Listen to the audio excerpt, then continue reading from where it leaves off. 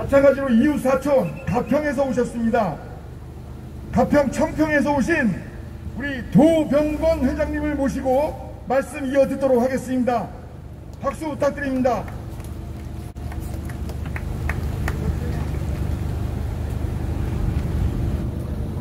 안녕하십니까.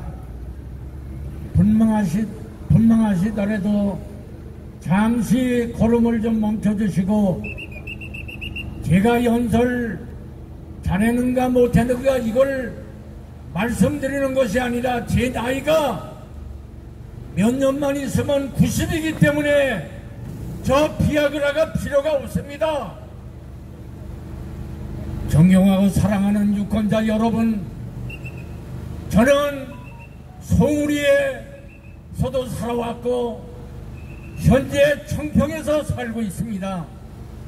원래 고향은 강원도 행성이지만 물 좋고 좋은 우리 포천과 우리 가평을 제가 넘나들면서 옛날 지난날 민주화 운동에 불을 지피다가 피단이라고 제가 포천과 가평을 넘나들었습니다.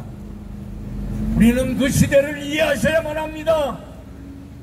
존경하고 사랑하는 유권자 여러분, 이 90이 가까운 이 사람의 연설을 좀 들어주시고 가지 마십시오.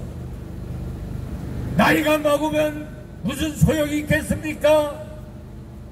말 잘하고 똑똑하면 건강하면 그만입니다. 저 지금 과거에 권투 선수였었습니다.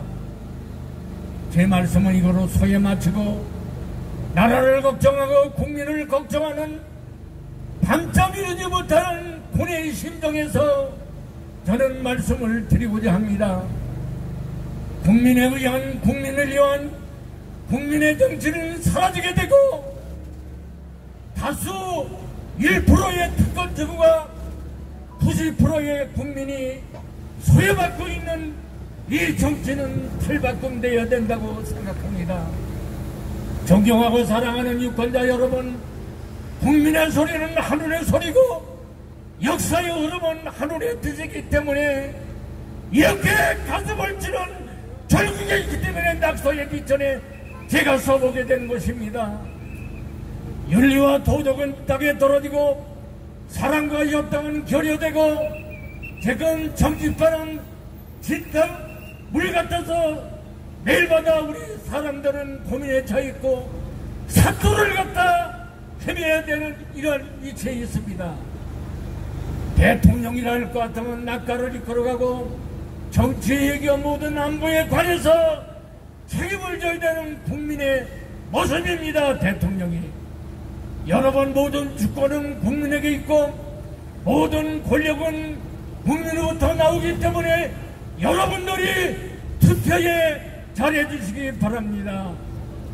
여러분들이 투표하지 않을 때에 관료주의의 노예로 전락했다는 것을 아시고 한순간의 순간이 영혼을 좌우하는 말이 있듯이 똑똑히 보고 똑똑히 살피고 여러분 일할 수 있는 후보 윤석열 후보에게 한 표를 주옵사 저는 지지의 말씀을 드리고자 하는, 합니다.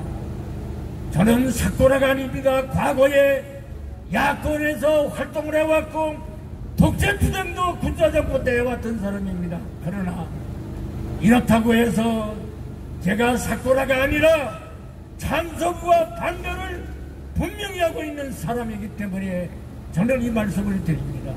네, 조금만 더 말씀을 드리겠습니다.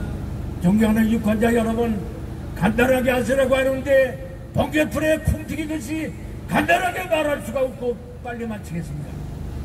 유권자 여러분, 우리는 희망찬 내일을 위해서 위대한 선택을 고민하면서 하여야만 될 줄로 믿습니다. 기호 2번 윤석열 후보를 제가 꼼꼼히 살펴봤습니다. 그러나 민주주의와 통일과 계획을 위해서 해나갈 수 있는 사람이란 것을 제가 발견을 했었습니다. 저는 분명히 찬성과 반대를 분명히 합니다. 저는 아무 당소속 사람도 아닙니다. 그저 저는 자연인에 불과한 사람입니다. 존경하는 선택을 하는 유권자 것입니다. 이대로 십시오. 하는 것입니까? 지금 우리? 법치주의와 또한 세련 내기는 정확한 지식을 갖고 있는 윤석열 의금한 후보 잘생기고 또 몸이 좋아서 황소처럼 일할 수가 있습니다. 가슴으로 고민하고 행동으로 실천할 수 있는 윤석열 후보 항해의 여러분들 국민들 모든 몸에 배를 잃고 역사적 항해를 하려고 하오니 기호 2번 윤석열 후보에게 지지해 주시고 여러분 성장과 복지가 실현되는 이 포천을 꼭 만들어 나가겠습니다. 시간 관계상 긴 말씀을 드리지 아니하고 여기에 줄이겠습니다. 윤석열 후보가 당선되신다면 기업이 들어오고 사람이 들어오고 돈이 들어오는 혁신 도시를 꼭 만들어 나가겠습니다.